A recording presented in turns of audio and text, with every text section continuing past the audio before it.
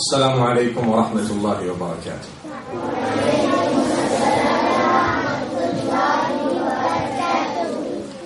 ما شاء الله بسم الله الرحمن الرحيم الحمد لله وحده والصلاة والسلام على من لا نبي بعده وعلى آله وصحبه وسلم I'm so happy to be here standing in front of you, mashallah, and I know a lot of you. I know quite a lot of you. Do you know that? How? I saw you watching the TV, didn't I? Uh, yeah. All the guys who put up their hands, a lot of them I know them because from behind the screen, I was looking at you, wasn't I? Was that? Wasn't I?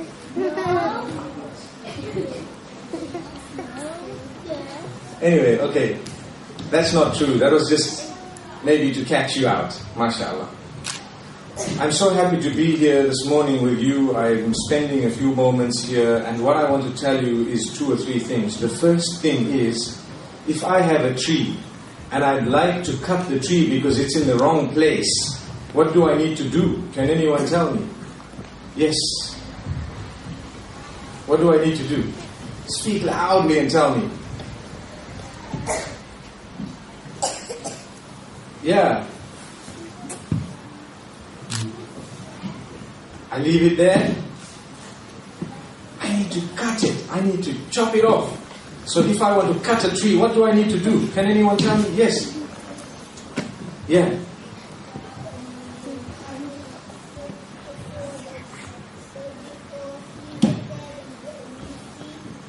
Subhanallah. I need to work hard. I need to call someone or I need to buy an axe and I need to make sure that I, I start cutting the tree. It might be an electric saw, isn't it? Electric saw.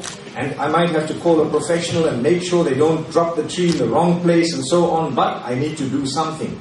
And I need to do something quickly. Yes. I need to make dua as well, isn't it? Wow, mashallah. That was good. And I tell you what, without working hard, will I get anything? Will I get the tree away if I just sleep every day and say the tree needs to go? Will it go one day? It won't. Nothing just goes like that. If you need to do something, you need to get up and work hard. Why I say this is because today you are here, you are trying to learn something. Am I right? If you just say, I need to learn, oh, it's a good school, mashallah, I got all these books, they're lovely. Are you going to learn? You need to work hard. You need to open your books. You need to get there on time. You need to talk about it. You need to talk to one another. You need to go back home and tell your mom and dad what you learned, and your brothers and sisters what you learned and how you learned it. Am I right? So, how many of you go home and tell your parents, This is what I learned today? Put up your hand. MashaAllah. If that's true, then we're all heading in the right direction. Someone will come to cut the tree, don't worry, inshallah.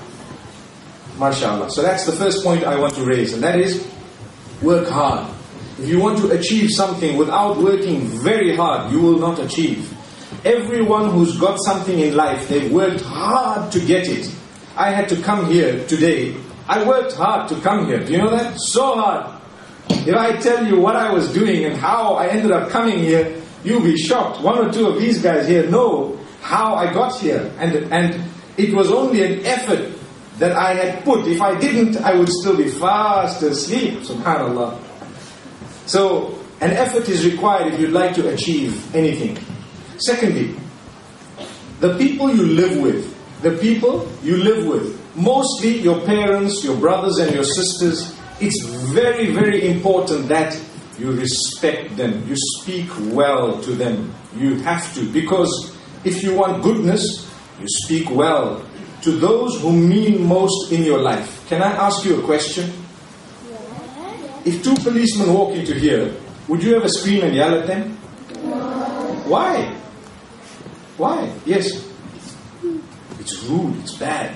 Why else? Yes.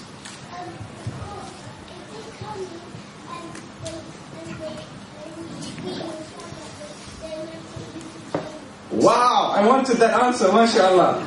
If you scream and shout at them, they might take you to jail because they are police. Yeah. So if two policemen came in here, you would actually have to speak to them with respect. You cannot scream and yell. And if they tell you stand up, what will you do? Stand up. Can anyone say, I don't want? Can you say, I don't want, I'm not interested? What will happen? Uh, they might give you big eyes, uh, you know, look at you and you start uh, freezing. Can happen, isn't it? So, why I say this is because we respect them because we believe they protect us, isn't it?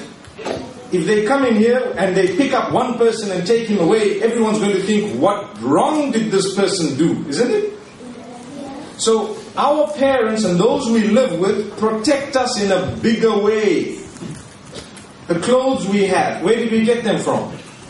Yes, shops. Who bought them? Whose money? Our parents. In most cases, our parents. In some cases, your guardians. Those who are looking after you. So, they spend money on us. They've paid for our clothing, our food, and so on. They perhaps have brought us to school and back. When we go home and they say, please come here, do you say, no, I'm watching TV? No. Is that what you're going to say? No. You're going to have to stand up and you need to know they are more important than the two policemen that we were talking about a few minutes ago. Do you understand what I'm saying? So, if your parents tell you, come here, what would you do? You would go there, subhanallah. Would you? I hope you're telling me the truth. I hope you're telling me the truth, inshallah. May Allah grant us goodness. So, those we live with, we must respect them. We must obey them. They want to protect us. They want to look after us. Don't get upset. If you say, Dad, I want this toy, or I want this phone, or I want this, and Dad and Mom says no, you say, okay, no problem. No problem. If you say no, you know it's better for me not to have it. Because if a policeman walks into here and says, give me your phone, what will you do? Give him the phone. Because he, he wants it for whatever reason. Am I right? So if your parents tell you you're not supposed to have a phone, then you are not supposed to have a phone. May Allah subhanahu wa ta'ala grant us goodness and may He open our doors. So, what was the first point I mentioned? When I started here, I said, if you want to do something, then you have to work very hard. hard. The second point I said is, you must respect those whom you live with. Those whom you live with, isn't it? Your parents and so on. And your teachers, those who teach you, you need to respect them. You need to listen to what they have to say. You need to understand that if you respect them and if you listen to what they have to say, you will achieve a lot. If your teacher tells you uh, 1 plus 1 is 2, can you say no, it's 3? No. Can you say that? No. Why? Because that's your teacher. But when your teacher tells you not to do something and you do it, then you are busy saying 1 plus 1 is 3. It's the same thing. If your teacher tells you not to do something, not to, for example, lie, and you keep on lying, then you're saying oh, 5 minus 3 uh, is 8. Is 5 minus 3 8? No. No. So what is it? Yeah. Two, subhanallah. You know it's two. So why do you know it's two? Because you listened to your teacher at one stage and it becomes more and more complex. So if you respect your teachers and you listen to them, you will be able to achieve a lot. You will be able to achieve a lot, mashallah. Am I right? Yes. Alhamdulillah. We ask Allah subhanahu wa ta'ala to grant us goodness and to open our doors. Another thing we need to know, and this is the last point I'm going to raise, is we need to be disciplined. Do you know what discipline means? Yes. When you get told off. Discipline, when you get told off, you can become disciplined. Yes. What is discipline?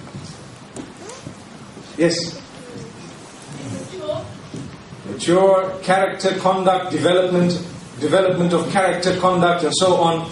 Uh, if you are if you follow rules and you follow regulations, you are disciplined. You, you need to understand, I am a Muslim. I follow rules. I follow regulations. I will not swear. I will not lie. I will not cheat. I'm not going to scream and yell. I'm not going to just wear whatever I want to wear, even if it is not right.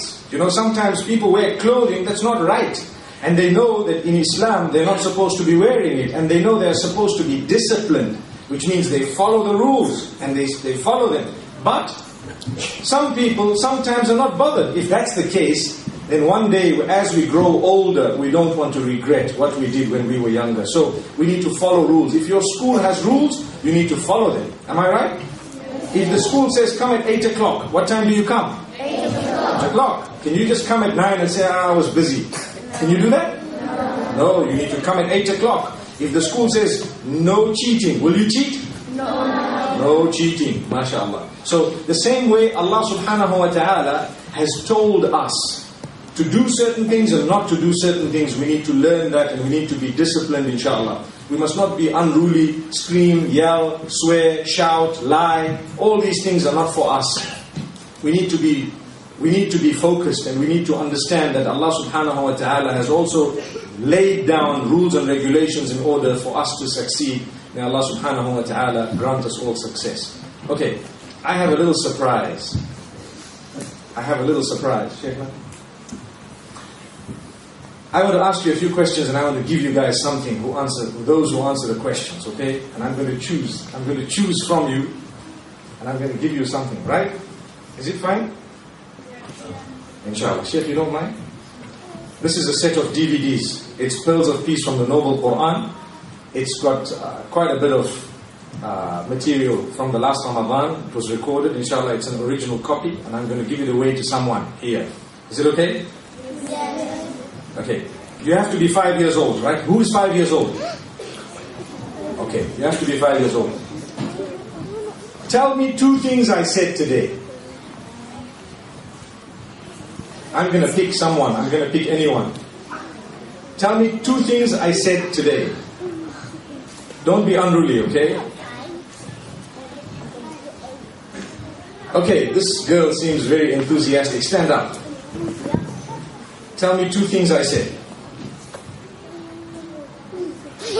What was the first point I raised? The first thing I said was? Who remembers the first thing I said? Okay, sit down, sit down. Who remembers the first thing I said? Yes. Uh, you said about a tree. Yeah. What was the point I was making? you need to be hard work. Okay, there you are. Stop. MashaAllah. Barakallah. That's yours.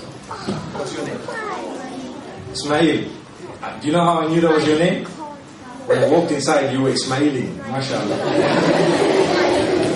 Because it's my name as well. MashaAllah. We share the same name. MashaAllah. My name is Ismail as well. Okay, we've got. Now that's the DVDs are gone, okay? Now they're MP3s. Now we're going to someone older. You have to be 10 years old. Who's 10 years old? Put up your hand. Okay, I'm going to ask you a question. I'm going to ask you a question from what I did not say, okay? Name me the five most important prophets of Allah subhanahu wa ta'ala. You have to be 10 years old. Yes. Stand up. Muhammad sallallahu Isa alayhi salam, Ibrahim alayhi salam, Musa alayhi salam, no cheating. Yeah? He's very important Nabi, but he's not one of the top five. Known as Ulul Azm, the top five. Anyone else wants to try? Yes. Yes. Stand up. Wait, wait, wait. Sit. The girl behind you. Yes. She had quite a few of them right, so you just need a small droplet. I can't hear you, Muhammad sallallahu alaihi wasallam. Then Ibrahim alayhi salam. Sorry. Isa. She said Isa. Isa alayhi salam. Musa alayhi salam. One, one, one. Come on, you did very well. Okay, sit down. Sorry, what did you say? Yusuf alayhi salam. Sit down. Yusuf alayhi salam, very important Nabi, but not one of the top five. Okay, I just want the one name now. Just the one name. Yes, sister. Adam alayhi salam, top Nabi, but not one of the top five. Yes, right. Are you 10 years old, guys? You right at the back with the, with the glasses. What's your name? Sorry? Hamza. Okay. Who? Dawud alayhi salam, mashallah, but not one of the most important. Yes. Yes. Prophet? Hmm? Who what? Nuh. MashaAllah. You're right. Alhamdulillah. There's a verse of the Quran where Allah makes mention of these names. وإذ أخذنا من النبيين ميثاقهم ومنك ومن نوح وإبراهيم وموسى وعيسى بن مريم The five of them. May Allah's peace and blessings be upon them. This is yours. You can come and get it down here. Sorry? You can come now. Yeah. MashaAllah.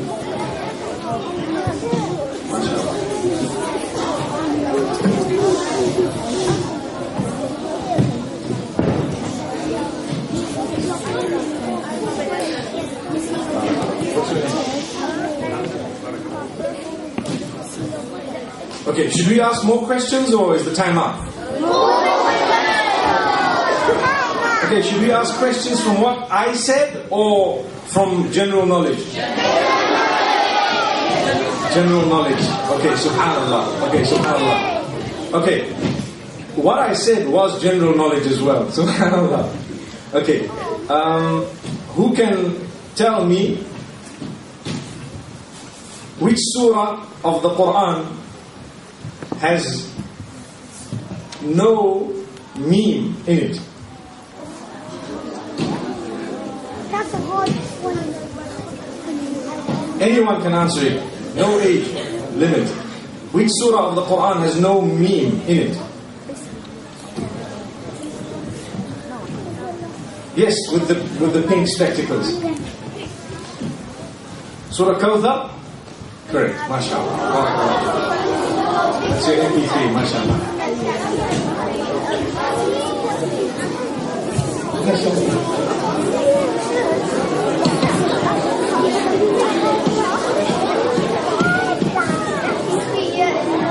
Okay, we've got three more. We've got three more.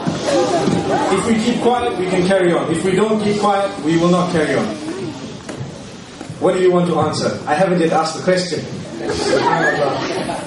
Okay, uh, this is a very tough question. Uh, it's a very tough question. Should I ask a very tough question?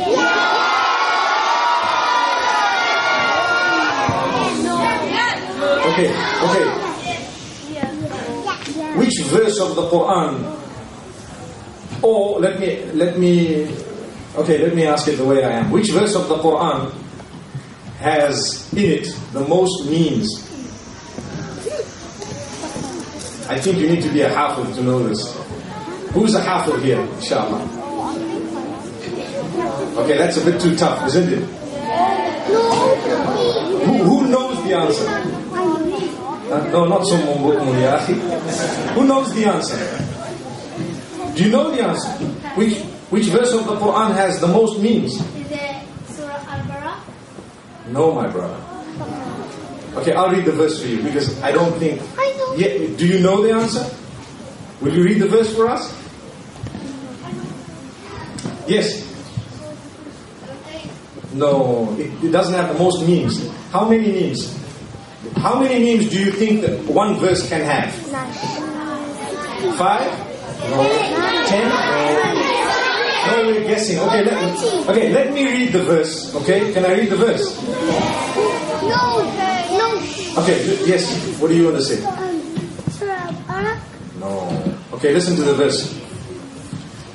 قيل يا نوح اهبط بسلام منا وبركات عليك وعلى أمم ممن معك وأمم سنمتعهم وأمم سنمتعهم ثم يمسهم منا عذاب أليم How many memes were in there? How many? Not 20. Okay, that was that was definitely a very hard question. Okay, next time we'll ask the question, put your hands down, that question is now cancelled. Officially cancelled, inshallah. We'll ask you an easier question. Okay? We'll ask you an easier question. Who can name me? Who can name me one of the females who accepted Islam first?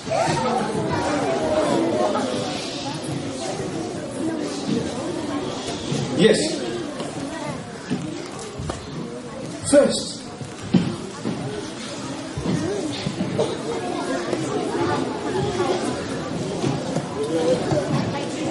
Yes. Yes, you. It, it, says something like Mashino on your Khadija bint Khuwaylid radiallahu anha. This is for you. MashaAllah.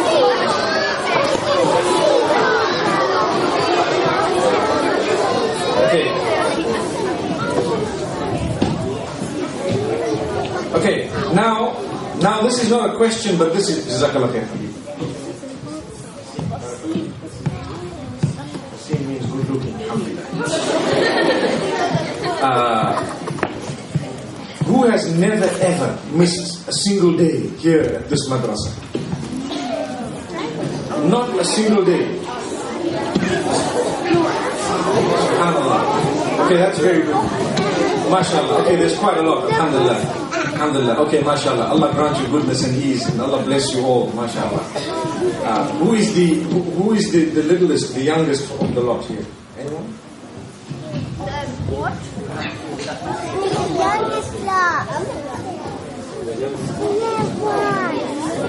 So that's a little bit tough.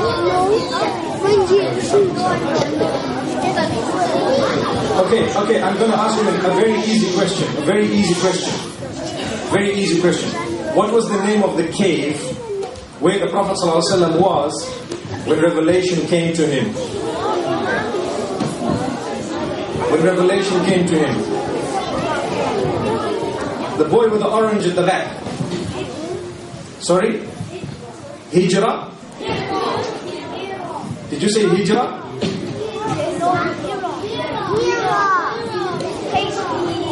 Did you say Hira or Hijrah? The first one, did you say Hira or Hijrah? The first one or the second one? Sorry? No, he has to make his mind up. Hira or Hijrah? Which one? The first one or the second one? Okay. He said Hijrah. You said Hijrah? That's the wrong answer. Now everyone knows the answer, subhanAllah. Now everyone knows the answer, mashallah. Okay, wait, wait, wait, wait, wait, wait. Let's be fair. Let's be fair, inshallah. Let's be fair, inshallah. In that little corner, we haven't even spoken to anyone. So, the girl right at the end. What was it? Say it again. Hira. Say Hira. Yeah, the cave of Hira. The cave of Hira. MashaAllah. Come and take your, your disc, inshallah. Okay, okay.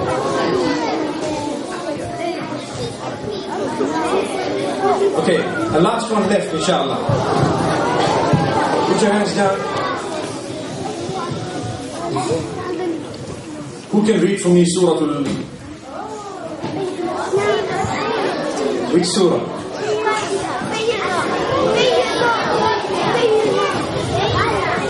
Which surah? No. Who can read for me Surah Al-Fatiha?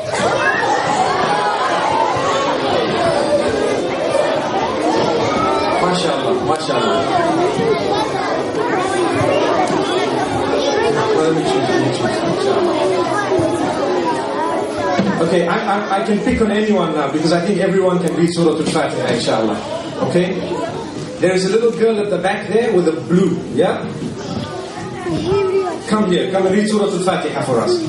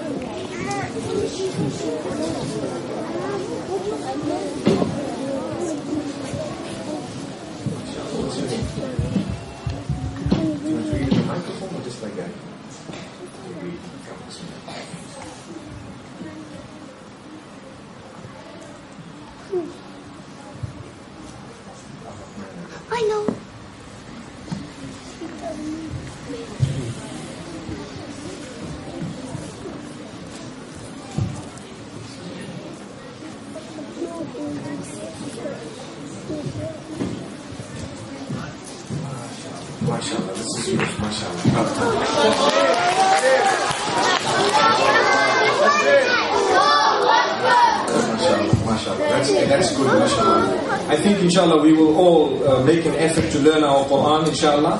We will all learn our little surahs, inshallah. The next time I come, inshallah, uh, I might ask you to read the whole Quran, inshallah. Is that fine? Okay, we'll be realistic, inshallah. May Allah bless you all. Uh, Like I said, can we settle down a little bit? Like I said, inshallah, it was really a pleasure to be here. I thought of bringing in some CDs of my own accord because I thought it might uh, at least, you know, uh, do a little bit of good, inshallah, and I hope that you can benefit from it. Uh, may Allah subhanahu wa ta'ala bless us all. Wa sallallahu wa sallama wa baraka ala nabina Muhammad. Assalamu alaikum wa rahmatullahi wa barakatuh.